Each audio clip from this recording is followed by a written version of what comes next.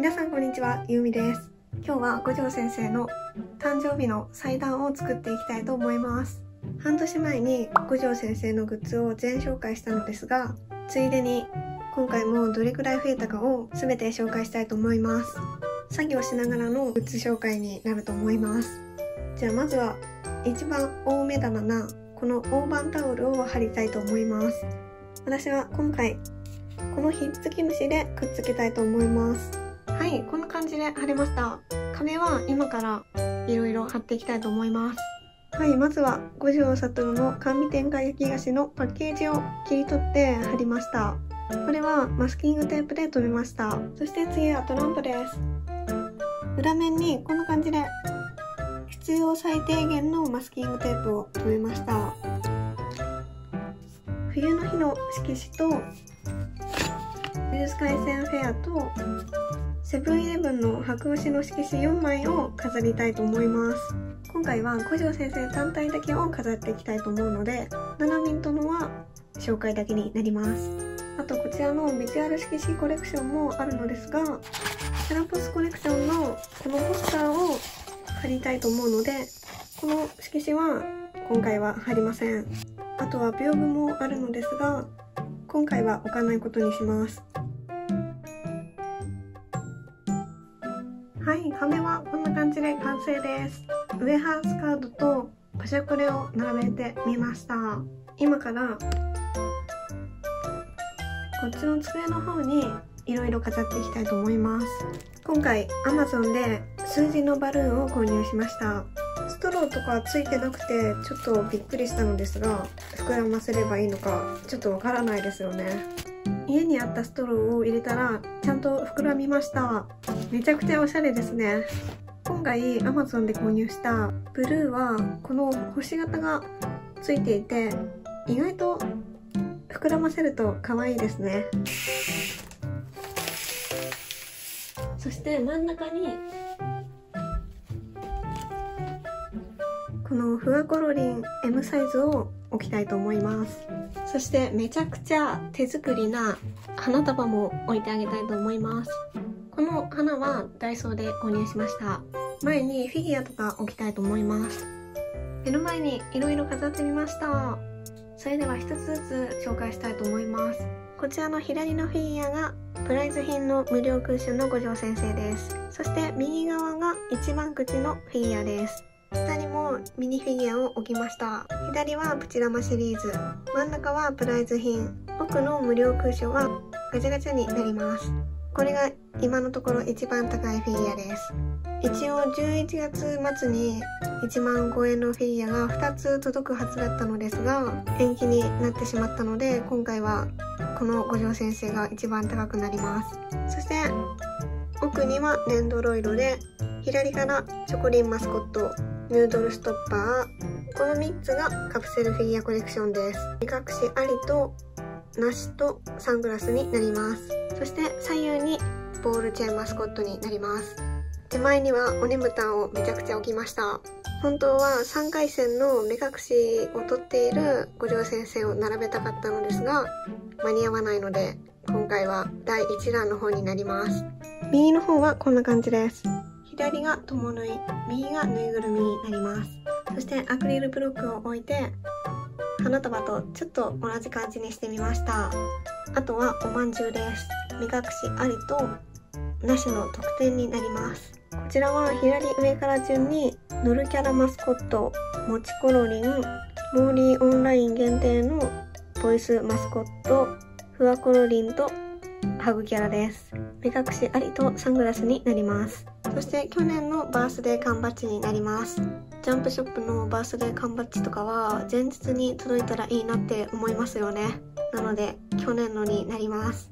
今から下にアクリルスタンドと缶バッジを並べていきたいと思います。缶バッジはこの上の段に入っています。この真ん中の方はみちやくんの缶バッジがもう入らない状態で下にいつもぬいぐるみとかを入れています。見にくいのですが上の五条先生を入れているボックスは仕切りありです。みつやくんの缶バッジとぬいぐるみは仕切りなしのボックスを使っています。そしてこの下にもアクリルスタンドを入れているのでこれを一つずつ出していきたいと思います。アクリルスタンドを入れているバインダーはこの黒色とこのセリアのバインダーとこの白色とダイソーのバインダーになります。あとはクリアファイル入れやこれは五条先生専用のかぶったファイルにしていてこれがウェハースシールで呪術廻戦のウェハースカード呪術廻戦のポストカード東京リベンジャーズのカードやポストカードを入れています。そしてこの無印のボックスには 75mm の缶バッジを入れています。鬼滅と通り部呪術廻戦で入れているのですが今回缶バッジは先に袋から出しています。これも後で全て紹介したいと思います。じゃあアクリルスタンドたちを出していきます。こちらの前回のマッパの五条先生の誕生日は上に置きたいと思います。はい一番大きいアクリルメガフィギュアは真ん中に置きます。こちらは呪術廻戦カフェです。左に制服を置いていきたいと思います。ここから一つずつ出していきます。これは本当の初期のアクリルスタンドです。こちらが東宝アニメーションストア5周年の椅子に座っている五条先生です。アニメイトの冬の日になります。大交流店の大きい方のアクリルスタンドです。そしてプラザです。ツタヤになります。東急ハンズのお花見です。マッパになります。こちらはローソンです。ジャンプショップの呪術廻戦フェアです。呪術廻戦店の前期です。こちらは領域展開スクエアです。読売ランドです。そして一番くじ。そしてパズドラです。幕張の大きいセブンネットです。これもマッパです。セガの買い食いバージョンです。こちらが東京駅です。レイジブルー。キャラポップストア。こちらはナムコ。そしてエンディング。アニメイトの S シリーズ。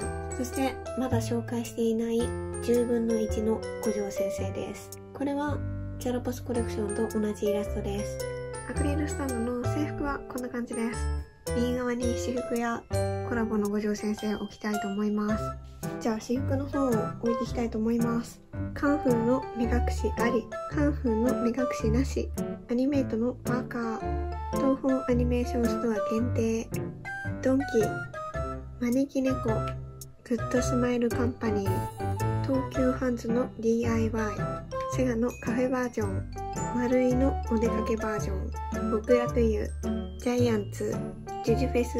セガラッキー福寺タワーレコードパーティーバージョン呪術廻戦店の海辺呪術廻戦カフェ呪術廻戦カフェのミニキャラアソートコレクションアクリルフィギュアコレクションそして前回のジオラマです。これも上に置きたいと思います。大交流店のミニサイズモンストローソン領域展開スクエアのミニフィギュア東京タワー休日バージョン。はいアクリルスタンドはこんな感じで並べました。結構ぎっしり詰めたのですが本当にバランスよく飾るのはすごい難しいですね。そして右側が空いているので缶バッジを置いていきたいと思います。もうバラバラで置きたいと思います。くじ引き堂。くじ引き堂のミニキャラ。原作缶バッジ第1弾の高専時代。そして4巻の表紙。原作缶バッジの第2弾ボリューム1そしてボリューム2セガのカフェバージョン。ジャンプショップの呪術廻戦フェア。爆弾焼き。マッパ。冬の日。プラザ。カンフーの目隠しありとなし。休日バージョン。ジャイアンツのミニキャラと闘神。アニメートのパーカーと同じくパーカーのチョコレートに入った缶バッジ。ローソン。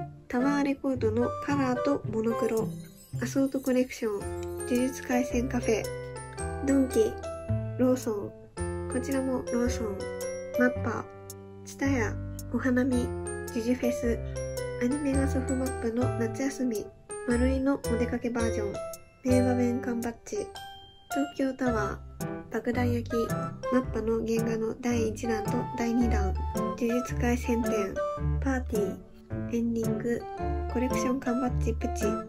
缶バッジはこんな感じです。そしてセガラッキーくじの缶バッジもあるのですがちょっと大きいので今回は飾らないでおきます。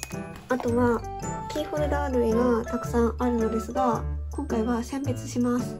筆豆の第1弾第2弾第3弾万丈光デフォラマの第1弾と第2弾ピタ第1弾第2弾オープニングバージョン呪術廻戦フェア。最後に交渉ボタン付きアクリルチャーム。缶バッジをもうちょっと左に寄せたいと思います。はいこんな感じで並べてみましたがすごい雑でもうちょっとセンスがあったらいいなって思うのですがこれで完成にしたいと思います。まだ並べていないグッズもあるので後で紹介したいと思います。じゃあ大事なケーキを持っていきたいと思います。はい今回は普通のケーキになります。キャラクターのケーキを作ってくれるところがあったのですがあと4日早ければ予約ができたみたいで本当に私の行動が遅いせいで普通のケーキになりました。そしてこのケーキを買う時にプレートに名前を書きますかって言われたのですがちょっと恥ずかしいのでお誕生日おめでとうだけにしてもらいました。最後に。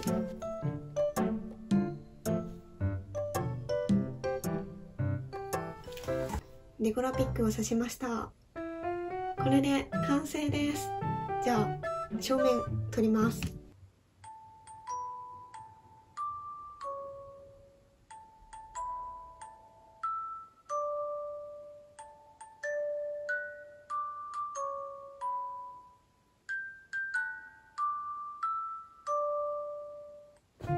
先生誕生日おめでとうございます。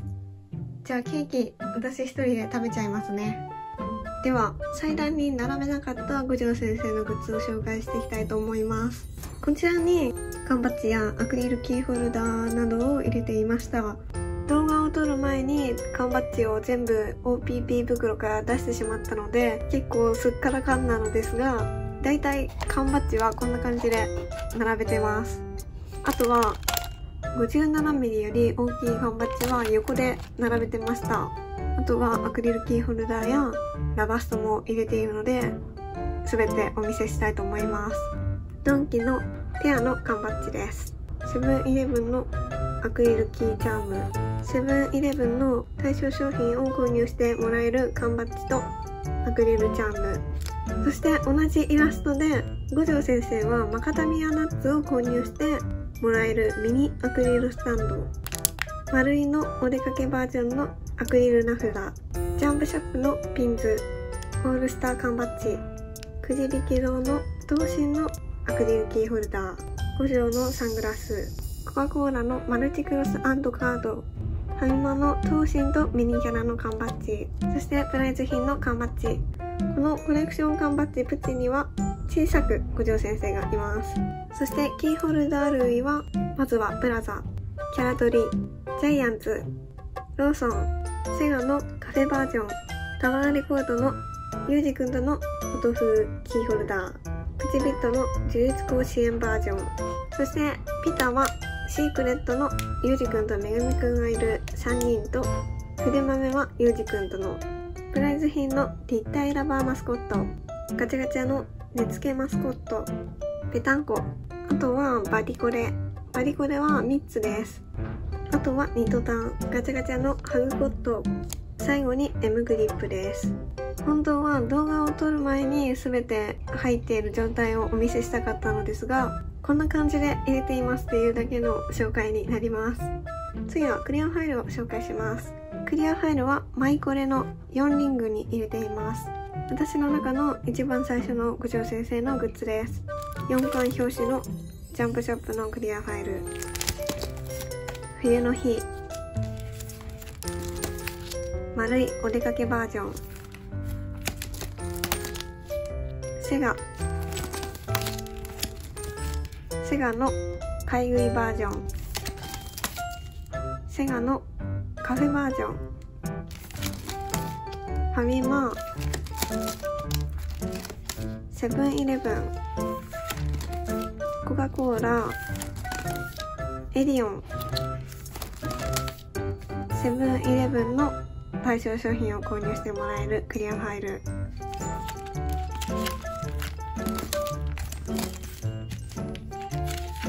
ジャンプの特典。最後に一番くじです。ウェハースのシールは出したくないのでこんな感じで入れています。五条先生次のウェハースシールもコンプリート目指したいと思います。カードはこんな感じで入れています。またこの SB みたいに新規のイラストが出てほしいですね。そしてこちらも SB ブロマイドやポストカードイラストカードはこの中に入れています。セブンイレブンで印刷した五条先生セブンイレブンの50万人限定のブロマイド。そしてくじ引き色のブロマイド。13本のブロマイド。これはすごいお気に入りです。アニメイトの冬の日と椅子シリーズ。招き猫とドンキ。ドンキの五条先生単体は持っていないです。そしてモンスト14巻の特典。DVD の特典と東宝アニメーションストア限定のポストカード。そしてシールもあります。こちらもセブンイレブンの対象商品を購入してもらえるポーチ。丸いのクリアしおり。最強ジャンプの付録。こちらも開いたらポスターです。ポーチコレクション。ナムコのイラストカードこちらは以上です。そしてこちらは 75mm の缶バッジを入れているケースです。呪術廻戦カフェのアクリルキーホルダー。呪術廻戦フェアのナラミントの缶バッジ。コレクション缶バッジの第2弾のレア。プライズ品にナムコの缶バッジ。コースター類はこんな感じです。3D コースターの闘神 3D コースターのデフォルメ呪術廻戦カフェ招き猫極楽湯のミニキャラ極楽湯の闘神アートコースター丸いのアクリルコースターあとはコースターコレクション。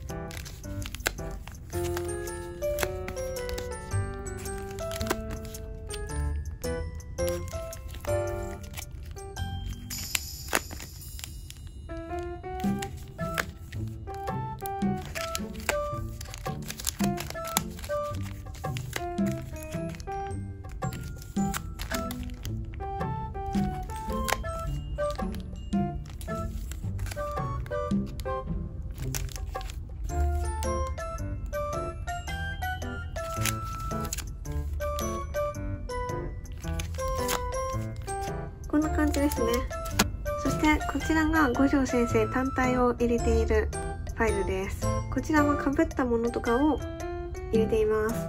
こちらはセリアのリフィルです。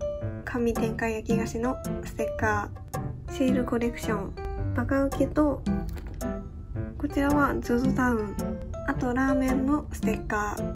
壁に貼ったパセコレやウエハースのカードはこの中に入れていました。クリアカードとメタルカードこれで紹介した全ての五条先生のグッズになると思います。2021年の五条先生の誕生日の動画は以上になります。素敵な一日になったと思います。またこれからも色々増えていくと思うので来年はどうなるかすごい楽しみです。またこれからもぜひよろしくお願いします。それではまたお会いしましょう。バイ。